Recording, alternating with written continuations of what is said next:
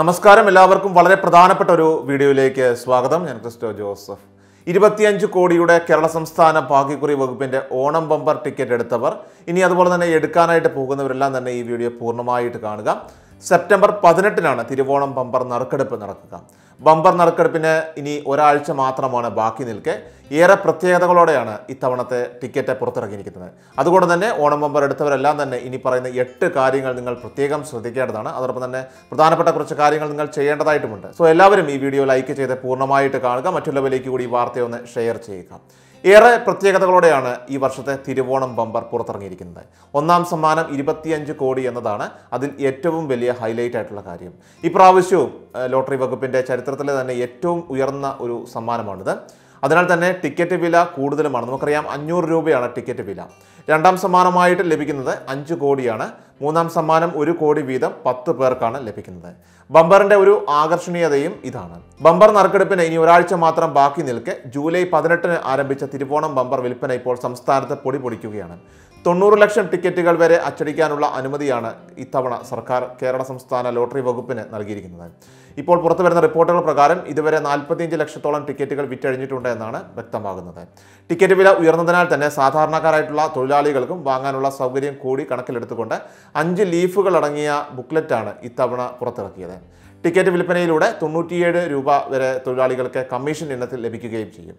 അൻപത്തിയെട്ട് രൂപയായിരുന്നു കഴിഞ്ഞ തവണ ഒരു ടിക്കറ്റിനുള്ള കമ്മീഷൻ തുക. അതേസമയം വ്യാജന്മാരെ തുരത്താനുള്ള മാർഗവും ഇത്തവണത്തെ ഓണം ബമ്പർ ടിക്കറ്റുകളിൽ ലോട്ടറി വകുപ്പ് ഉൾപ്പെടുത്തിയിട്ടുണ്ട്.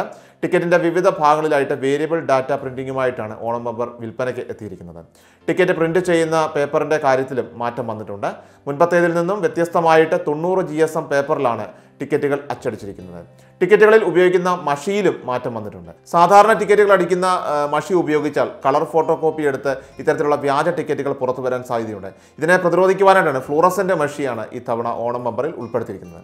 സോ ഓണം ബമ്പർ എടുത്തവർ ഇനി പറയുന്ന കാര്യങ്ങൾ നിങ്ങൾ പ്രത്യേകം ശ്രദ്ധിക്കുക. ഇതിൽ ചെയ്യേണ്ടതായിട്ടുള്ള കുറേ കാര്യങ്ങൾ കൂടിയുണ്ട്. ലോട്ടറി വാങ്ങിയാലുടൻ ടിക്കറ്റിന്റെ പുറകിൽ നിങ്ങളുടെ പേരും മേൽവിലാസവും എല്ലാവരും രേഖപ്പെടുത്താൻ മറക്കരുത്. ഇനി നിങ്ങൾക്ക് സമ്മാനം അടിച്ചാൽ സമ്മാന അവകാശത്തിനുള്ള ഒരു അപേക്ഷയാണ് ആദ്യം വേണ്ടത്. ഈ അപേക്ഷയിൽ പേരും വിലാസവും കൃത്യമായിട്ട് രേഖപ്പെടുത്തിയിരിക്കണം. ഒന്നാം സമ്മാനത്തിന് അർഹരായ ടിക്കറ്റിന്റെ രണ്ട് ഭാഗത്തിന്റെയും ഫോട്ടോ കോപ്പി എടുക്കണം. ശേഷം ഒരു ഗസറ്റഡ് ഓഫീസറെ കൊണ്ട് സാക്ഷ്യപ്പെടുത്തേണ്ടതാണ്. ഈ അപേക്ഷയ്ക്കൊപ്പം രണ്ട് പാസ്പോർട്ട് സൈസ് ഫോട്ടോയും ഇതും ഗസറ്റഡ് ഓഫീസർ അറ്റസ്റ്റ് ചെയ്യേണ്ടതാണ്.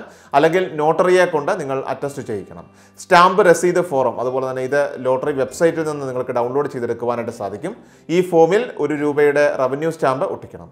ശേഷം ഓരോ കോളവും പൂരിപ്പിക്കേണ്ടതാണ്.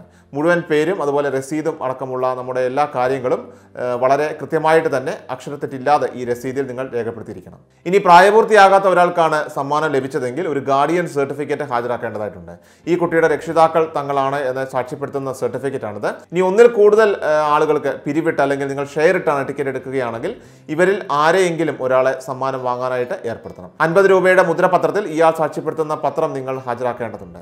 ഇനി അതുപോലെ തന്നെ ഭാഗ്യക്കുറി സമ്മാനത്തിന് നൽകുന്ന അപേക്ഷയിൽ നമ്മുടെ തിരിച്ചറിയൽ കാർഡ് നൽകേണ്ടതായിട്ടുണ്ട്. പാൻ കാർഡ് അതുപോലെ തന്നെ Aadhaar card driving licence voter I D അതുപോലെ തന്നെ പാസ്പോർട്ട് അങ്ങനെ ഏതും രേഖയായിട്ട് നിങ്ങൾക്ക് നൽകാവുന്നതാണ്. സമ്മാനം അടിച്ച ടിക്കറ്റ് ദേശസാൽകൃത അല്ലെങ്കിൽ ഷെഡ്യൂൾഡ് ബാങ്ക് സഹകരണ ബാങ്ക് എന്നിവിടങ്ങളിലും ഏൽപ്പിക്കാം. ഇങ്ങനെ കൊടുക്കുമ്പോൾ ബാങ്കുകാർ മൂന്ന് രേഖകൾ സംസ്ഥാന ലോട്ടറി ഡയറക്ടറേറ്റിലേക്ക് അയക്കേണ്ടതായിട്ടുണ്ട്. ഒന്നാമതായിട്ട് സമ്മാനാർഹനിൽ നിന്ന് അധികാര സാക്ഷ്യപത്രം അത് വാങ്ങേണ്ടതാണ്. ഇത് കേരള ലോട്ടറി വകുപ്പിന്റെ വെബ്സൈറ്റിൽ നിന്ന് ഡൗൺലോഡ് ചെയ്ത് എടുക്കുവാൻ സാധിക്കും. ഇനി രണ്ടാമതായിട്ട് സമ്മാനത്തുക കൈപ്പറ്റുന്ന ബാങ്കിന്റെ സാക്ഷ്യപത്രമുണ്ട് അതുപോലെ തന്നെ മൂന്നാമതായിട്ട് സമ്മാനത്തുക കൈപ്പറ്റുന്നതിന് അധികാരപ്പെടുത്തിയ സാക്ഷ്യപത്രം ഇത്രയും സാക്ഷ്യപത്രങ്ങളാണ് ലോട്ടറി ഡയറക്ടർക്ക് ബാങ്ക് അധികൃതർ നൽകേണ്ടത്. അപ്പോൾ ഇത്രയും കാര്യങ്ങളാണ് ഓണം ബമ്പർ ടിക്കറ്റുമായിട്ട് ബന്ധപ്പെട്ട് നിങ്ങൾ എല്ലാവരും ശ്രദ്ധിച്ചിരിക്കേണ്ടത്. സെപ്റ്റംബർ പതിനെട്ട് അതായത് ഇനി ഒരാഴ്ച കൂടി മാത്രം ബാക്കി നിൽക്കുക. നിങ്ങളിൽ ആര് വേണമെങ്കിലും ഭാഗ്യവാനാകാം. എല്ലാവരും ഓണം ബമ്പർ ഫലത്തിനായിട്ട് കാത്തിരിക്കുക ഇക്കാര്യങ്ങൾ എല്ലാവരും തന്നെ കൃത്യമായിട്ട് മനസ്സിലാക്കിയിരിക്കുക. മറ്റുള്ളവരിലേക്ക് കൂടി വാർത്തയൊന്ന് ഷെയർ ചെയ്യുക. കൃഷൽ മീഡിയ. എല്ലാ ദിവസവും വാർത്തകളും അറിയിപ്പുകളും ലഭിക്കുന്നതിനായി ചാനൽ സബ്സ്ക്രൈബ് ചെയ്യുക. വീഡിയോയുടെ നോട്ടിഫിക്കേഷൻ ഉടൻ ലഭിക്കുന്നതിനായി ബെല്ലൈക്കൺ അമർത്തുക.